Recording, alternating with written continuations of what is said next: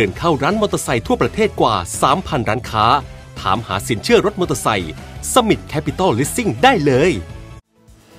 ช่วงนี้เราจะมาเกาะติดความเคลื่อนไหวครั้งสำคัญของ Zongshen แบรนด์มอเตอร์ไซค์ชั้นนำจากประเทศจีน ในการเดินหน้าบุกตลาดประเทศไทย ด้วยการแนะนำรถมอเตอร์ไซค์สกูตเตอร์ 2 รุ่นใหม่ ในนาม sub-brand นั่นก็คือไซโคลน ก่อนหน้านี้เราจะคุ้นเคยกับแบรนด์ Ryuka นั่นก็คือ sub-brand ของ Zongshen เหมือนกันครับ แต่เน้นขายรถมอเตอร์ไซค์ที่มีราคาย่อมเยา ส่วนไซโคลนนั้น เน้นตลาดที่มีกำลังซื้อค่อนข้างสูงหน่อย ที่ผ่านมาก็มีการเปิดตัวรถสปอร์ตคลาสสิกรุ่น RE3 เครื่องยนต์ 400 ซีซี ในแบบ 2 สูบเรียง เปิดราคา 189,900 บาท มาวันนี้ไซโครนได้ทำการเปิดตัวรถมอเตอร์ไซค์สกูตเตอร์ 2 รุ่นใหม่ ประกอบไปด้วย RT1 และ RT2 โดย RT1 ที่ท่านกำลังชมอยู่ในขณะนี้ มันคือสปอร์ตสกูตเตอร์ที่มีรูปโฉมดีไซน์ สวยงาม อยู่ในกลุ่มเดียวกันกับ Honda PCX หรือ Yamaha NMAX รวมถึง GPX Drone เครื่องยนต์สูบเดียว Single Overhead Camshaft 4 วาล์ว ระบายความร้อนด้วยน้ำ150 cc ให้กำลังสูงสุด 15.62 แรงม้าที่ 8,000 รอบต่อนาที แรงบิดสูงสุด 14.8 นิวตันเมตร ที่ 6,750 รอบต่อนาที กุญแจแบบ smart key รุ่น standard จะเป็นหน้าจอ LCD ส่วนตัวท็อปหน้าจอ TFT มาพร้อมกับกล้องหลัง ความละเอียด 1080 พิกเซล แสดงภาพบนหน้าจอเรือนไมล์ ได้อย่างสวยงาม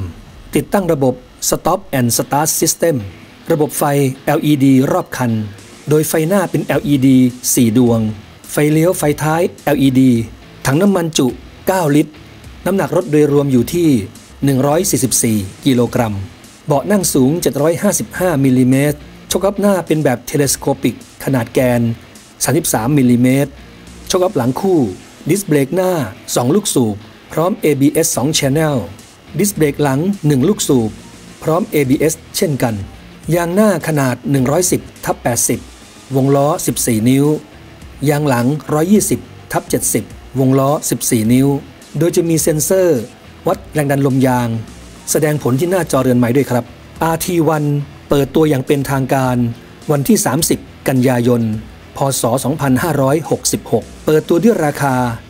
89,900 บาท เห็นราคาตรงนี้แล้ว บอกเลยครับว่าไม่ถูก เพราะเป็นราคาที่ใกล้เคียงกับรถมอเตอร์ไซค์ของญี่ปุ่น ปัจจุบันนี้แบรนด์มอเตอร์ไซค์จากจีน ที่มีคุณภาพ และมีประสิทธิภาพที่ใกล้เคียงกับรถมอเตอร์ไซค์ของญี่ปุ่น ก็เกิดขึ้นมากมายหลายยี่ห้อ เพียงแต่ว่าที่ผ่านมาหลายปีนั้น เราอาจจะคุ้นเคยกับแบรนด์ของจีนที่เข้ามาสร้างชื่อเสีย ด้วยการคัดเลือกสินค้าที่มีคุณภาพต่ำเข้ามาจำหน่าย แม้แต่ลิวก้าเองก็ตาม ในช่วง 10 กว่าปีที่ผ่านมา ก็ถูกตำหนิจากผู้ใช้มาอย่างมากมาย วันนี้แบรนด์ไซโคลนได้เข้ามาทำตลาดอย่างจริงจังอีกครั้งหนึ่ง ซึ่งนอกจากจะมีการเปิดตัว RT1 ไปแล้ว รุ่น RT2 ก็เปิดตัวพร้อมกันด้วยราคา 139,900 บาท ย้ำนะครับว่า 139,900 บาท โดย RT2 นั้นเป็นการพัฒนาร่วมกันระหว่างไซโคลนและเดลิม แบรนด์มอเตอร์ไซค์ชั้นนำของเกาหลีใต้ เครื่องยนต์สีจังหวะ สูบเดียว Single Overhead Camshaft 4 วาล์วระบายความร้อนด้วยน้ำ ปริมาตร 250 ซีซี ให้กำลังสูงสุด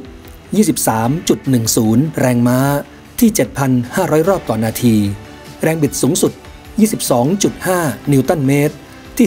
6,500 รอบต่อนาที รุ่นนี้มีการเน้นเรื่องของอัตราเร่ง จาก 0 ถึง 50 กิโลเมตรต่อชั่วโมงทำได้ในเวลาเพียง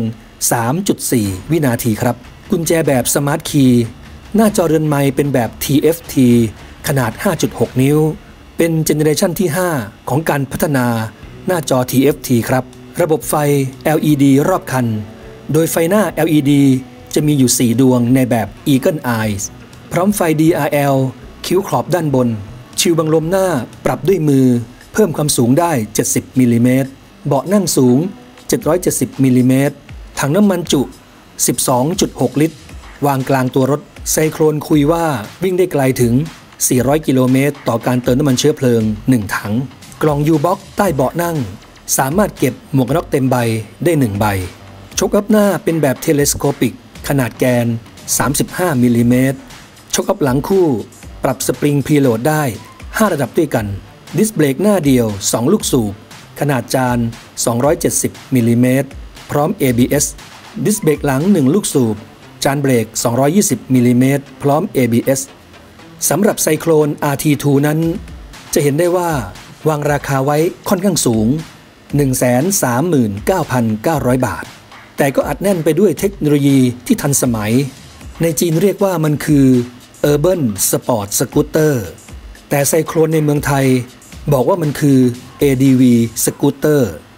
มันสามารถใช้งานได้หลากหลายรูปแบบครับ จะขี่ในเมืองก็ได้ ลุยๆหน่อยก็ดี รูปแบบดีไซน์ของตัวรถก็ถือว่ามีเอกลักษณ์เฉพาะตัวที่แตกต่างไปจากรถญี่ปุ่น ชื่อแบรนด์ไซโคลนในวันนี้ ต้องบอกเลยครับว่า หลายคนยังไม่รู้จัก ต้องใช้เวลาในการสร้างแบรนด์อีกพอสมควรทีเดียว ช่วงหนึ่งปีที่ผ่านมา หรือว่า 8 เดือนแรกของปีนี้ ระหว่างเดือนมกราคมถึงเดือนสิงหาคม ไซโคลนรุ่น RE 3 sport classic เครื่องยนต์ 2 สูบเรียง 400 ซีซี มียอดขายรวมทั้งสิ้น 234 คัน เฉลี่ยเดือนหนึ่งประมาณ 30 คันครับ คาดว่าปีนี้ยอดขายของ RE 3 จะอยู่ที่ 350 คันบวกลบ จากการตรวจสอบข้อมูลเชิงลึก ไซโคลนยังมีแผนจะเปิดตัวรุ่น RE 2 อีกหนึ่งรุ่น จะเปิดตัวเมื่อไหร่อย่างไร อีกไม่นานคงได้ทราบกัน วันนี้การเปิดตัวของ RT1 และ RT2 สกูตเตอร์ ขนาด 150 และ 250 ซีซี จะเป็นการเริ่มต้นสร้างแบรนด์ครั้งใหญ่ เพราะว่ากระแสความต้องการของคนไทยในขณะนี้ ทุกท่านทราบดีอยู่แล้วว่า สกูตเตอร์กำลังมาแรง คนไทยจะให้การยอมรับมากน้อยแค่ไหน ไซโคลนจะเดินหน้าได้อย่างยิ่งใหญ่หรือไม่ อีกไม่นานคงได้ทราบกันครับ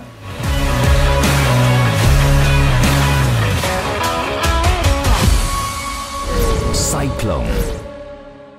ผ่อนรถมอเตอร์ไซค์กับเราวันนี้ แถมฟรี ประกันรถหายและประกันอุบัติเหตุส่วนบุคคลนาน 1 ปี วงเงินคุ้มครองสูงสุด 200,000 บาท